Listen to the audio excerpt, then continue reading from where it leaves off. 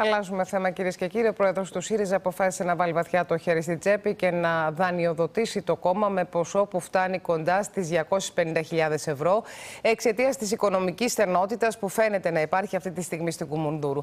Έτσι θα καλυφθούν οι μισθοί των εργαζομένων στο ΣΥΡΙΖΑ αλλά και των κομματικών μέσων ενημέρωσης. Η κίνηση Κασελάκη προκάλεσε δυσφορία στο περιβάλλον Τσίπρα και την αντίδραση των κυρίων Σκουρλέτη και Τσανακόπουλου. Νέο εσωκομματικό μπραντεφέρ έφερε στον ΣΥΡΙΖΑ ο δανεισμός του κόμματος από τον ίδιο τον πρόεδρό του Στέφανο Κασελάκη, ο οποίος φέρεται να έδωσε στο κόμμα με μορφή δανείου 250.000 ευρώ. Ο ίδιος πάντως σε νέο του μήνυμα δεν αναφέρθηκε στο δάνειο. Γεια σας από το Houston, Texas. Είμαι εδώ με τα νυψάκια μου, τον ανιψιό μου τον Θοδωρή, την ανιψούλα μου την Ισαβέλα. Ευχαριστώ πάρα πολύ για τις ευχές σας για την ονομαστική μου εορτή.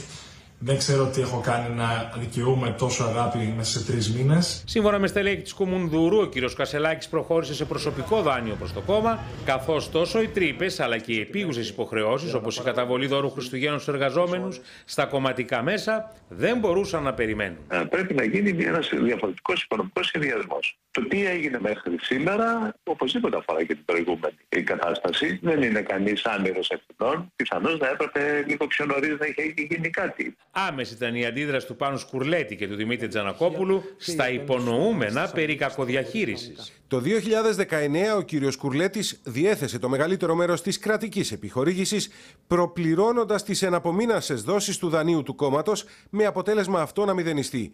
Επιπλέον, την περίοδο που ο κύριος Κουρλέτης διετέλεσε γραμματέας του κόμματος υπήρξε μείωση κατά 40% στο μισθολόγιο των ατόμων που μισθοδοτούνταν από το κόμμα εξορθολογίζοντας ακόμη περισσότερο το κομματικό ταμείο. Από τις πρώτες κιόλας ώρες της διαρροής τα ερωτήματα έπεσαν βροχή, όχι μόνο από δημοσιογράφους αλλά και μεταξύ των μελών του κόμματος. Ποιος υπέγραψε τη δανειακή σύμβαση για λογαριασμό του κόμματος, Ποιο κομματικό όργανο ενέκρινε τον δανεισμό, Επί Τσίπρα έπρεπε να γνωμοδοτήσει η πολιτική γραμματεία.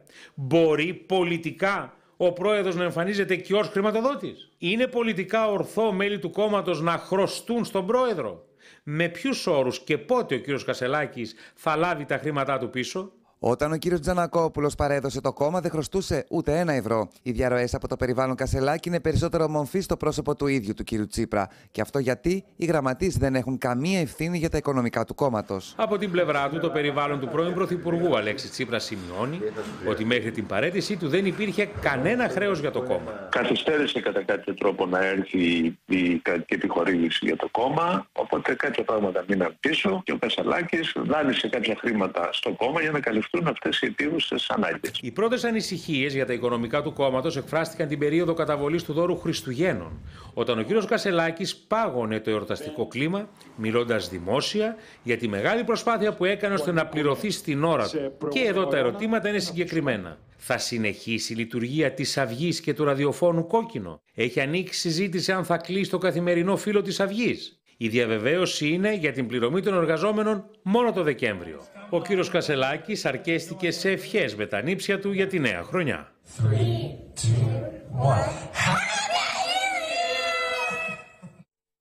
Μαζί μου είναι η Κάτια Μακρύ. Χρόνια πολλά, Κάτια.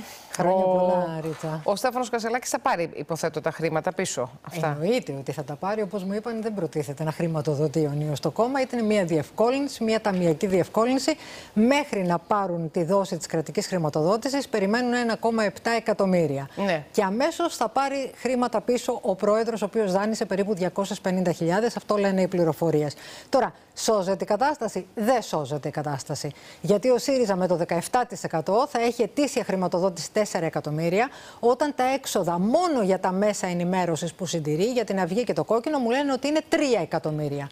Δηλαδή πρέπει με το 1 εκατομμύριο που θα απομένει κάθε χρόνο να κάνει εκλογές, όπως έχουμε φέτος ε, του χρόνου δηλαδή ευρωεκλογές, να κάνει συνέδριο, να κάνει περιοδίες. Ο λογαριασμός λοιπόν αυτός δεν βγαίνει, τουλάχιστον όπως είναι αυτή τη στιγμή, τα οικονομικά του κόμματος. Εκτός από αυτό τώρα, γιατί επιλέγει με τη στάση του ή με την κίνησή του να έρχεται και πάλι απέναντι από τον Αλέξη Τσίπρα. Και είναι πολλωστή φορά και αυτό δείχνει ότι αυτή η σχέση δεν θα πάει καλά και στο μέλλον, γιατί όλο και πληθαίνουν τα βέλη προς τον ε, προηγούμενο πρόεδρο του κόμματος.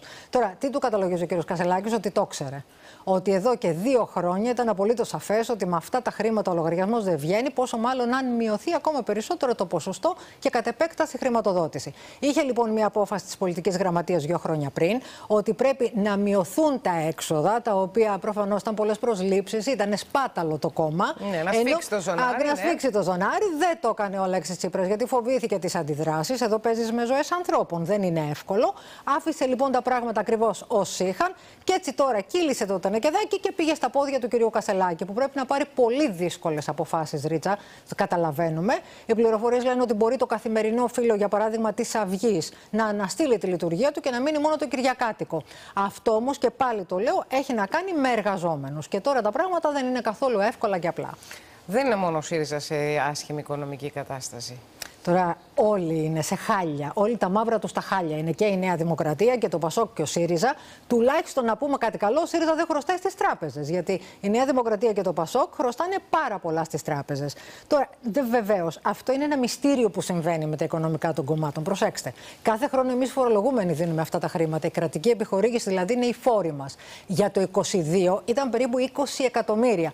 Το 23 ήταν ακόμα περισσότερα γιατί είχαμε και εκλογικές Είχαμε τις αναμετρήσεις. εκλογές, ναι. Είχαμε και τις εκλογές. Θα ήταν λοιπόν γύρω στα 25 με 26 εκατομμύρια.